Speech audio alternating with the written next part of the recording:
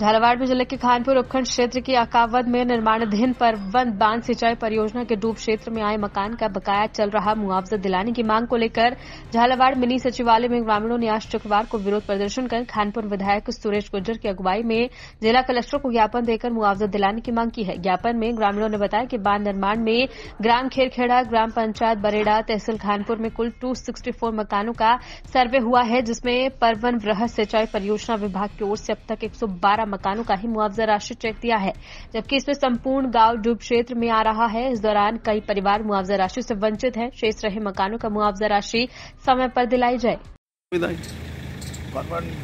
Dam जो बन रहा है हाँ। उसमें सात आठ गाँव पूरे डूबना है। हाँ, कुछ हाँ। लोगों को मुआवजा मिल गया मकानों का कुछ लोगों ने मिला नाइन्टी सिक्स में बाढ़ आई थी। हाँ हाँ। उसके कारण इनको आबादी के अंदर से हटाकर ऊंचाई पे हाँ। बसाया था वहाँ पर कोई चारागाह या हम्म, कोई दूसरी ज़मीन तो है नहीं फॉरेस्ट के अंदर ही बनाया था।